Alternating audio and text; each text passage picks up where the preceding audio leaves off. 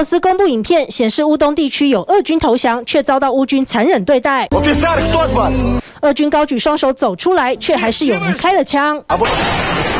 俄国指控乌军滥杀战俘，乌克兰则辩称那些俄军只是诈降，所以乌军的行为是出于自卫。乌国当局还指出，在新收复的赫尔松市找到四个俄军虐囚的关押基地。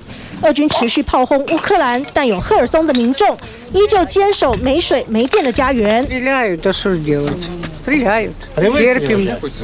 Кто трусливые уезжали, кто не трусливые остались. 俄军撤出赫尔松，固守河流东岸，但在战场上并未因此扭转乌军优势，让主张撤离的末日将军苏洛维金在俄国内部也面临越来越多的质疑压力。乌克兰总统泽伦斯基表示，跟法国总统马克宏通过话，讨论核电厂跟欧洲的能源安全。他也呼吁北约将俄国认定为恐怖主义国家。